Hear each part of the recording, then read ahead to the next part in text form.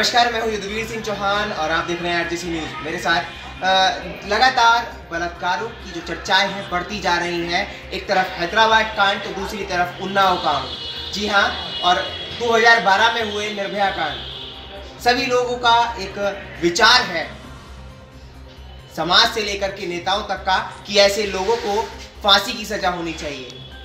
और देखिए कि हैदराबाद में जिस तरीके से पुलिस ने चारों आरोपियों को एनकाउंटर में मारा है उसके बाद में क्या तक जनता का है क्या लहजा है जनता का उन आरोपियों के लिए? और पुलिस की कितनी सराहना की है? आइए मेरे साथ देखिए आप अपने टीवी स्क्रीन पर।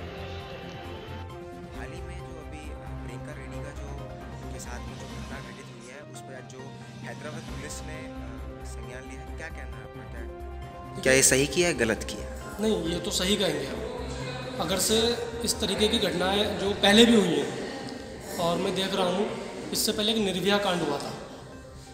जैसी सज़ा आज मिली है, हैदराबाद के अंदर, डॉक्टर प्रियंका रेड्डी जी के जो कातिल थे, बलात्कारी थे, उनको एनकाउंटर आज सुबह किया गया है। ये एक सराहनीय कदम है।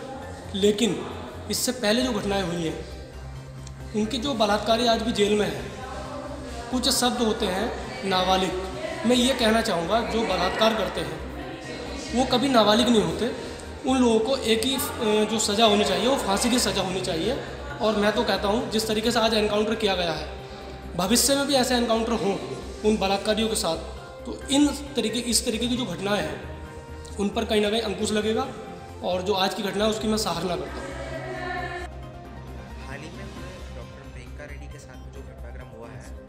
लेकर के आज हैदराबाद पुलिस ने इतना बड़ा कदम उठाया उन चारों को कि का इनकाउंटर कर दिया उस पर आपका क्या कहना है? वैसे हमारी भारतीय संस्कृति में किसी की मृत्यु पर प्रसन्नता व्यक्त करने का प्रावधान तो नहीं है, लेकिन डॉक्टर प्रियंका रेड्डी के जो मुजरिम थे, उनके साथ जो आज इनकाउंटर किया गया पुलिस के द्वारा, इसमें एक महिलाओं में खुशी की लहर है। क्योंकि हम महिलाओं की यही मांग थी कि त्वरित न्याय होना चाहिए।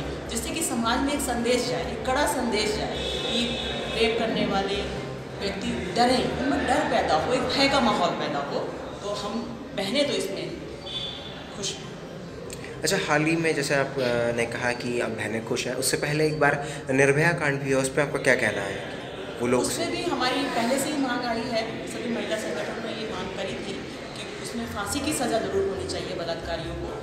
जिससे कि जब तक एक डर नहीं होगा कानून का और थोड़ा सा न्याय में जल्दी बहुत जब देरी हो जाती है किसी न्याय का तो उसका औचित्य ही खत्म हो जाता है। तो हम चाहते हैं त्वरित न्याय और कड़े से कड़ा कानून जो हम लोग मांग है हमारी सभी महिला संगठनों की कि उन्हें ज़रूर फांसी की सज़ा जल्दी से जल्दी जैसा कि आपकी सरकार ने केंद्र सरकार में एक बिल पास हुआ संसद में कि जितने भी बलात्कारी हैं उनको फांसी की सज़ा का प्रावधान किया जाएगा। उस पर आपकी क्या कहना है? बिल्कुल।